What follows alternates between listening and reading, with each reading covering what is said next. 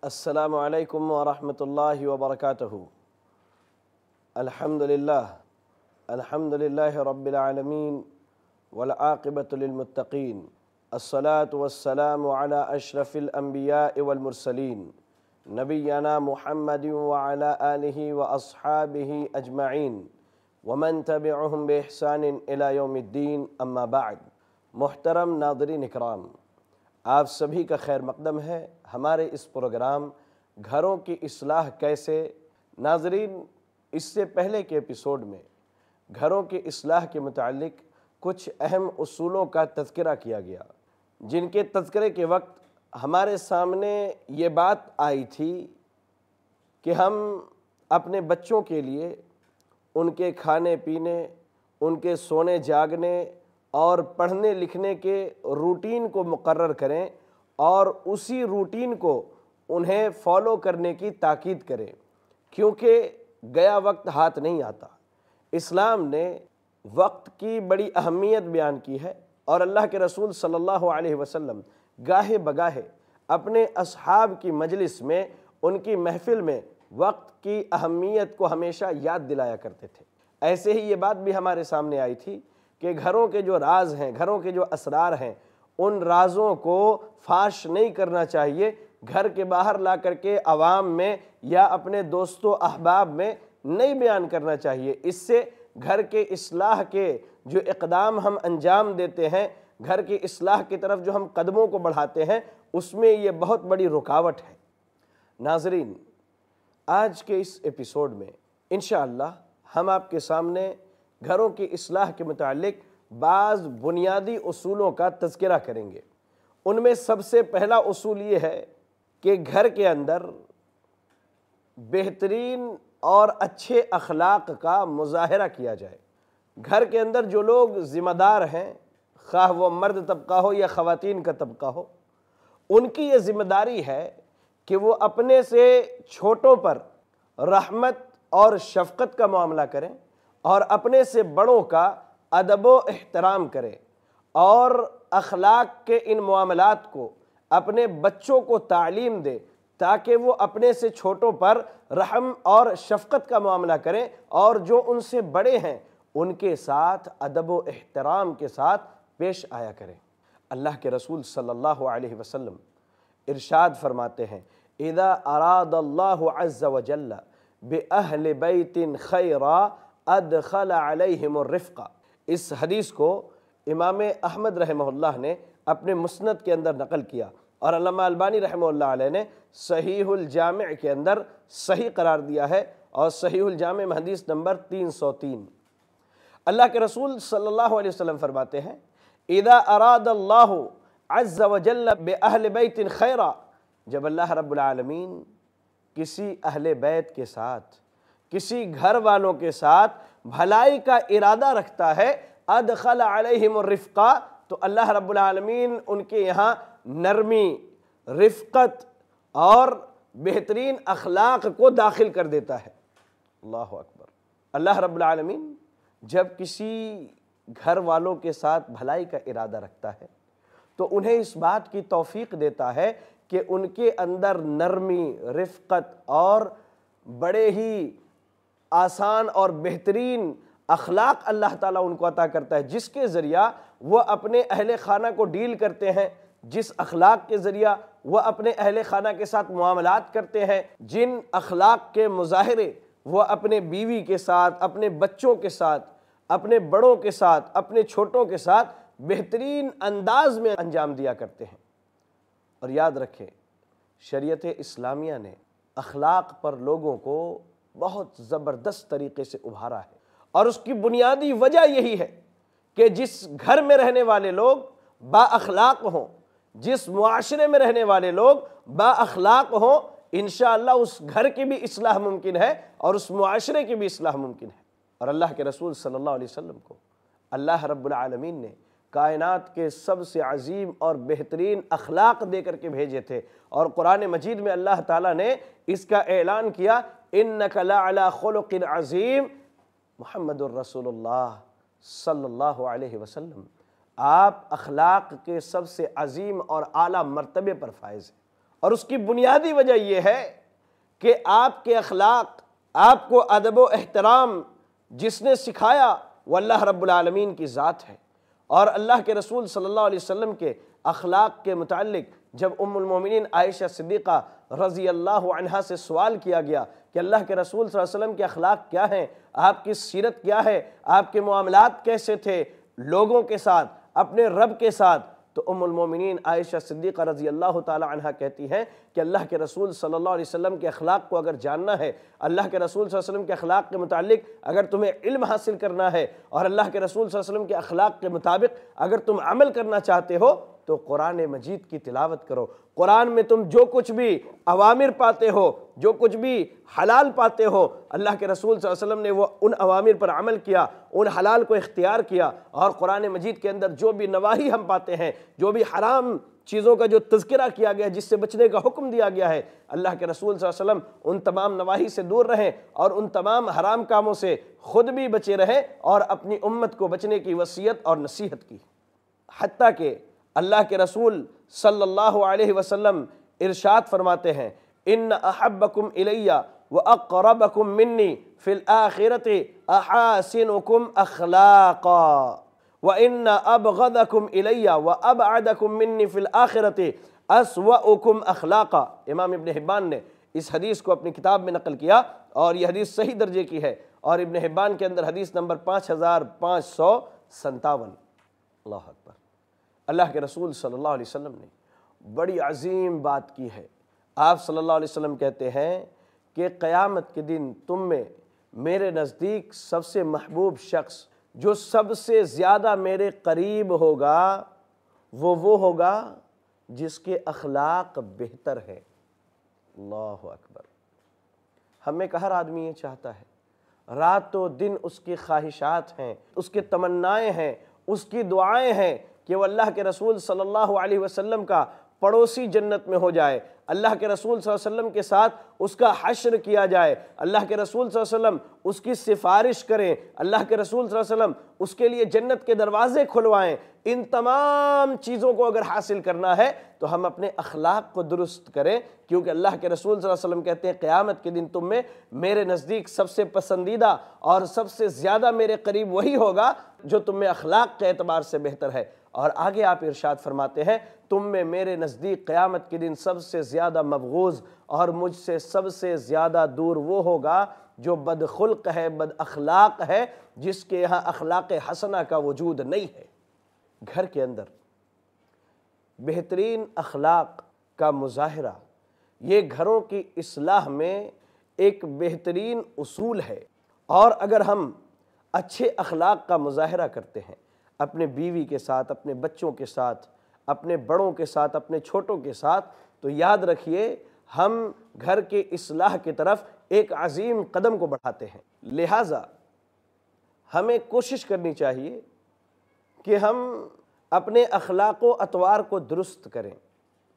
اور اچھے اخلاق کے وسائل اگر جاننے ہیں، تو ہم اور آپ اللہ کے رسول صلی اللہ علیہ وسلم کی سیرت طیبہ کا مطالعہ کریں۔ قرآن مجید کو پڑھیں۔ اللہ کے احکامات میں غور و تدبر کریں، اللہ کی کتاب میں غور و فکر کریں، انشاءاللہ بہترین اخلاق کا اقتصاب ہو سکتا ہے۔ اور اگر بہترین اخلاق کا اقتصاب ہوتا ہے، اس اخلاق کے علم کو حاصل کرنے کے بعد اگر عملی تطبیق ہم اپنے گھر میں دیتے ہیں، تو اس کے ذریعہ ہمارے اور آپ کے گھروں کی اصلاح ہو سکتی ہے۔ ضرورت اس بات کی ہے کہ اس کے طرف ہم اور آپ ایک قدم آگے بڑھائیں۔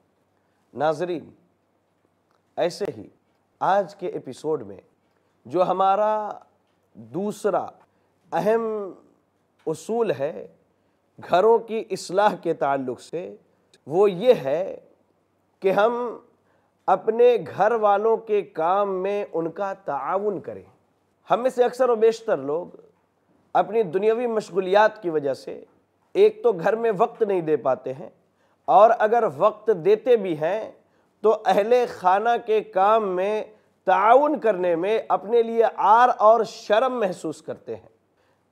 جبکہ اللہ کے رسول صلی اللہ علیہ وسلم کا یہ معمول تھا کہ آپ اپنے کپڑے خود سے سل لیا کرتے تھے، آپ اپنے جوتوں کی مرمت خود بخود کیا کرتے تھے اور گھروں کے جو کام کاج ہوا کرتے تھے، جیسے بکری کا دودھ دہنا اور دیگر کاموں میں آپ اپنی ازواج متحرات، امہات المومنین رضی اللہ عنہ واردہ کے ساتھ تعاون کا معاملہ کیا کرتے تھے۔ ان کا تعاون بڑھ چڑھ کر کے کیا کرتے تھے۔ آپ ذرا غور کیجیے۔ ایک گھر ہے جہاں پر خاتون اکیلے ہے۔ شوہر بھی کام پر گیا ہوا ہے اور اس کے ذمہ دو تین بچے بھی ہیں۔ ان کی تعلیم و تربیت کا بھی معاملہ ہے، ان کی پرورش کے بھی معاملات ہیں۔ اب ہم اتنے زیادہ جلد باز ہو جاتے ہیں کہ ایک طرف بچے بھی رو رہے ہیں اور بیوی بیچاری کھانا پکانے میں مشغول ہے۔ ہمیں کھانا اسی وقت چاہیے گرچہ وہ پکا ہو یا نہ پکا ہو۔ ہم نہ بچوں کو سنبھالتے ہیں، نہ بیوی کے گھریلو کام میں اس کی مدد کرتے ہیں۔ اگر ہم اللہ کے رسول صلی اللہ علیہ وسلم کی سنتوں کی اقتداء کرتے ہوئے اہل خانہ کے کام میں ان کا تعاون کرتے ہیں، ان کی مدد کرتے ہیں، ان کا ہاتھ بٹاتے ہیں، تو یہ ایک بہترین ذریعہ ہوگا گھر کے اصلاح کی۔ ایسے ہی آپ کا بچہ ہے، وہ اسکول میں یا کسی مدرسے میں تعلیم حاصل کرنے والا ہے۔ جہاں اسے بہت سارے پروجیکٹس دیے جاتے ہیں، جہاں اسے بہت سارا ہوم ورک دیا جاتا ہے کرنے کے لیے اب بیچاری خاتون گھریلو معاملات بھی دیکھتی ہے اور رات میں بچوں کو ہوم ورکس بھی کراتی ہے۔ ایسے حالات میں یہ ہماری ذمہ داری بنتی ہے کہ ہم اپنے گھر میں، اپنے بچوں کے، اپنے بیوی کے تعاون میں آگے بڑھیں۔ اور بچوں کو جو ہوم ورکس ملے ہیں، جو تعلیمی معاملات ہیں، جو ان کے پروجیکٹس ہیں، اس کو تیار کرنے میں ان کا بھرپور تعاون کریں۔ اس سے کیا ہوگا؟ گھر کا ماحول بہت بہتر ہوتا ہے۔ ام المومنین عائشہ صدیقہ رضی اللہ تعالی عنہ سے سوال کیا گیا کہ اللہ کے رسول صلی اللہ علیہ وسلم اپنے گھر میں کیا کرتے ہیں؟ اللہ اکبر۔ ام المومنین عائشہ صدیقہ رضی اللہ عنہ، جنہوں نے اللہ کے رسول صلی اللہ علیہ وسلم کے معاملات گھر کے اندر دیکھے ہیں، بڑی خندہ پیشانی سے، فراخ دلی سے جواب دیتی ہیں، کانا یکون فی محنت ہی اللہ اکبر۔ اللہ کے رسول صلی اللہ علیہ وسلم اپنے اہل و عیال کے تعاون میں، اپنے اہل و عیال کے کام میں ان کی مدد کیا کرتے تھے۔ فَإِذَا حَضَرَتِ الصَّلَاةُ خَرَجَ إِلَى الصَّلَاةِ، اور جب نماز کا وقت ہوتا، جب اذان دی جاتی، نماز کے لیے صدائے لگائی جاتی، تو آپ صلی اللہ علیہ وسلم کاموں کو چھوڑ کر کے مسجد کی طرف نماز کے لیے روانہ ہو جاتے۔ اس حدیث کو امام بخاری نے نقل کیا ہے۔ ذرا غور کیجیے۔ ہمارے نبی صلی اللہ علیہ وسلم اس کائنات کی سب سے عظیم ہستی ہیں۔ آپ اس کائنات کی سب سے عظیم شخصیت ہیں اور آپ کو ہی اللہ نے ہمارے لیے مقتدہ، پیشوا، امام بنا کر کے مبعوث فرمایا۔ ہماری ذمہ داری یہ بنتی ہے کہ آپ صلی اللہ علیہ وسلم کی اقتداء کرتے ہوئے اپنے گھر کی اصلاح اگر ہم چاہتے ہیں تو اہل خانہ کے کام میں تعاون کیا کریں، ان کی مدد کیا کریں، ان کے ساتھ معاملات میں نرمی برتا کریں، شور شرابہ چیخ پکار اور لڑائی جھگڑے سے بہتر ہے کہ صبر و تحمل کے ماحول کو برقرار رکھیں اور اللہ کے رسول صلی اللہ علیہ وسلم کی سنت پر عمل کرتے ہوئے گھریلو کاموں میں ان کا تعاون کریں اور جب نماز کا وقت آئے سارے کاموں کو چھوڑ کر کے اللہ کی عبادت کے لیے دوڑ پڑیں۔ یہاں میں آپ کو ایک اہم نقطہ بتاتا ہوں۔ اگر ہم اہل خانہ کے کاموں میں ان کا تعاون کرتے ہیں تو اس کے تین بنیادی فائدے ہیں۔ پہلا فائدہ، جہاں ہم توحید و سنت پر قائم ہیں، جہاں ہمارا دعویٰ کتاب و سنت پر عمل کرنے کا ہے، وہیں پر ہمیں یہ تین عظیم فائدے بھی حاصل ہوتے ہیں۔ اللہ اکبر۔ پہلا فائدہ، ہم اللہ کے رسول صلی اللہ علیہ وسلم کی سنت پر عمل کرتے ہیں۔ اور قرآن مجید کے اندر اللہ رب العالمین نے بڑے واضح انداز میں اعلان کیا ہے کہ جو آدمی بھی اللہ اور اس کے رسول صلی اللہ علیہ وسلم کی اقتداء اور پیروی کرنے والا ہے، ان کا حشر قیامت کے دن نبیوں کے ساتھ شہدہ کے ساتھ، صالحین کے ساتھ اور اللہ کے نیک، سچے صدقین بندوں کے ساتھ ہوگا۔ یہ ایک عظیم فائدہ ہے۔ توحید و سنت پر قائم رہنے کے ساتھ اگر اہل خانہ کے کام میں ان کا ہم تعاون کرتے ہیں، ان کی ہم مدد کرتے ہیں ان کا ہاتھ بٹاتے ہیں، تو اللہ رب العالمین ہمیں ایک عظیم اجر سے نوازے گا کہ ہم اللہ کے رسول صلی اللہ علیہ وسلم کی اقتدا کرتے ہیں۔ دوسرا فائدہ، ہم اپنے اہل بیت اور اپنے اہل خانہ کی مدد کریں گے اور اس مدد کے بنیاد پر ایک بہترین ماحول بنے گا۔ آپسی محبت میں اضافہ ہوگا۔ آپسی تعلقات مضبوط ہوں گے۔ میاں بیوی کے رشتے میں مضبوطی آئے گی اور یہ ایک بہترین ذریعہ ہے کہ اس سے ہم اپنے گھر کی اصلاح کر سکتے ہیں۔ اور تیسرا فائدہ، ہمارے اندر کی جو انانیت ہے، ہمارے اندر کا جو ہم ہے، ہمارے اندر کا جو کبر ہے، تکبر ہے کہ ہم مرد ہیں، گھر میں عورتوں کے کام میں ان کا تعاون کریں، اس کبر کا خاتمہ ہوگا۔ اور یاد رکھیں اس کبر کو ختم کرنا ہے، کیونکہ اللہ رب العالمین کو یہ کبر، یہ تکبر پسند نہیں ہے۔ یہ کبر اور تکبر یہ اللہ کی چادر ہے، اور جو اللہ سے اس چادر کو کھینچے گا، اللہ رب العالمین اسے گھسیٹ کر کے جہنم میں داخل کرے گا۔ اگر یہ کبر ختم ہوتا ہے تو الحمدللہ ہمارے اندر تواضع خاکساری اور انکساری پیدا ہوگی۔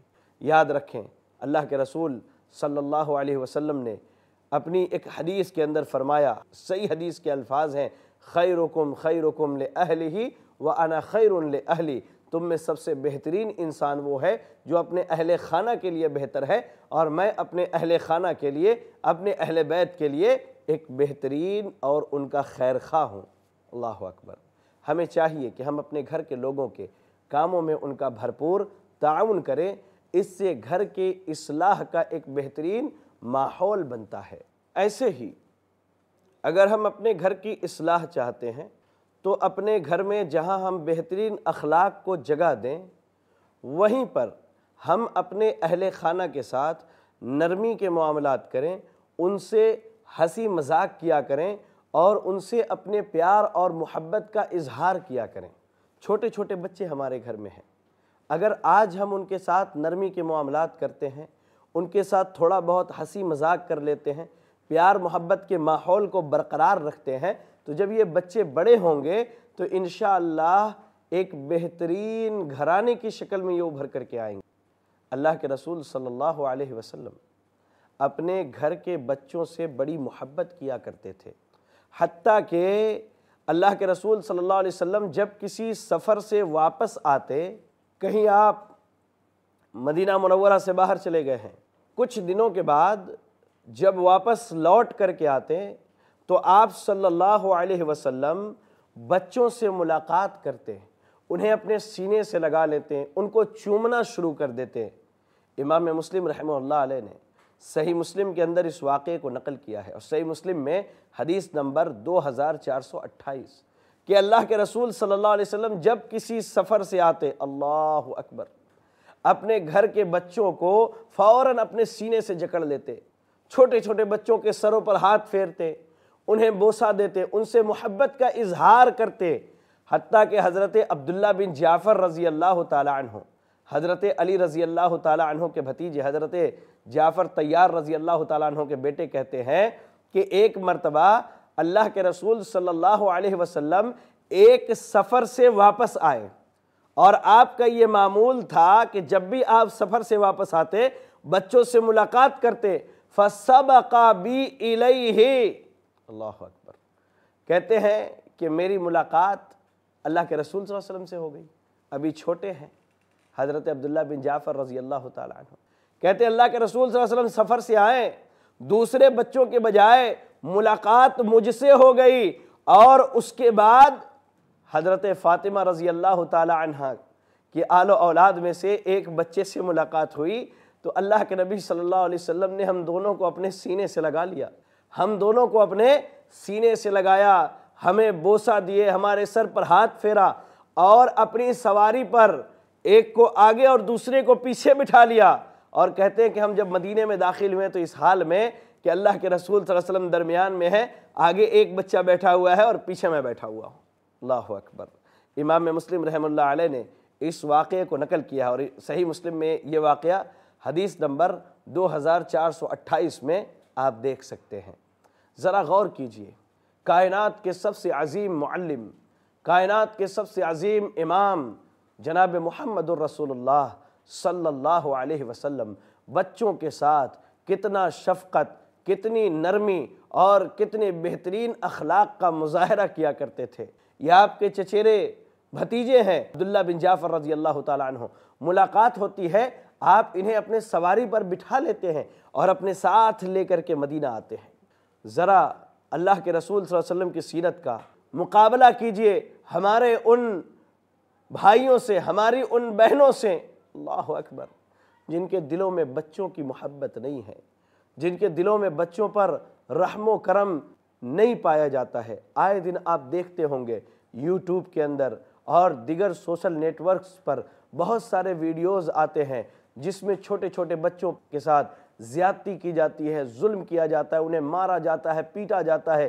حتیٰ کہ بعض تصاویر تو ایسے دل خراش ہوتے ہیں جو دلوں کو چیر کے رکھ دیتے ہیں کہ چھوٹے چھوٹے بچوں کو پھانسیوں پر لٹکا کر کے انہیں موت کے گھاٹ سلا دیا جاتا ہے۔ اللہ اکبر۔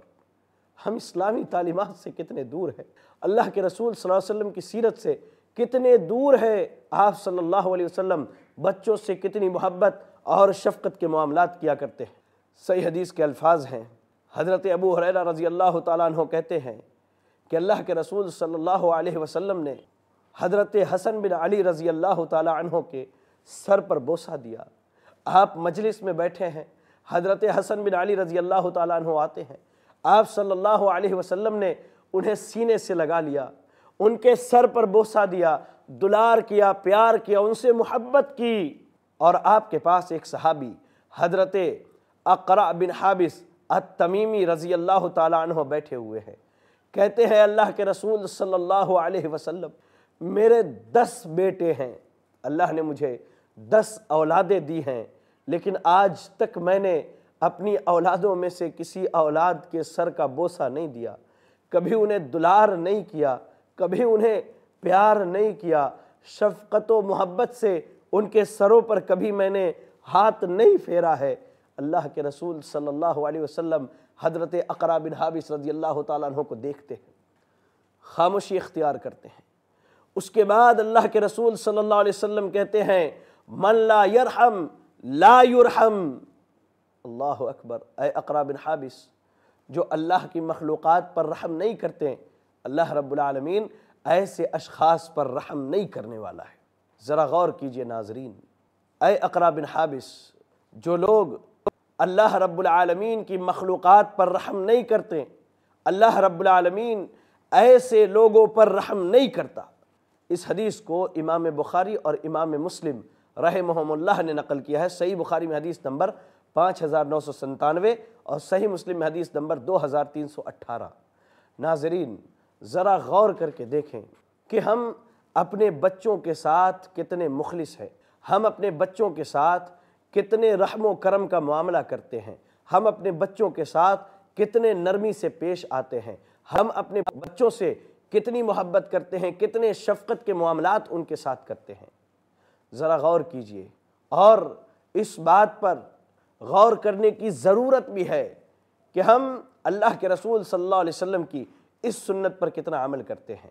اگر ہم بچوں کے ساتھ نرمی کے معاملات کرتے ہیں، ان سے ہنسی مذاق کرتے ہیں، ان سے پیار محبت کرتے ہیں، تو یاد رکھیے، ہم اپنے بچوں کے سب سے قریبی ہوں گے، سب سے اچھے دوست ہوں گے، اپنے بچوں کے سب سے اچھے مشورہ دینے والے ہوں گے، اور انہیں جب دنیاوی معاملات میں کوئی پریشانی آئے گی دنیاوی معاملات میں کوئی معاملہ ان کے درپیش ہوگا جو وہ حل نہیں کر سکتے، تو دوستوں سے، محلے میں، سہیلیوں سے اور فلاں سے ذکر کرنے کے بجائے وہ ہم سے ذکر کریں گے، کیونکہ ہم ان کے سب سے قریبی ہیں۔ اور ہو سکتا ہے اس کی وجہ سے ہم انہیں بہت ساری غلطیوں اور برائیوں سے روک لیں۔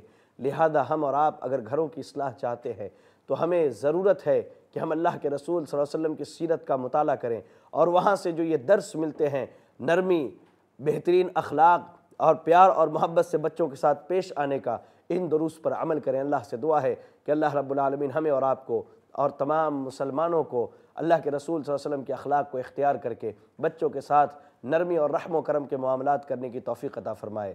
آمین۔ و آخر دعوانا الحمد للہ رب العالمین۔ والسلام علیکم ورحمۃ اللہ وبرکاتہ۔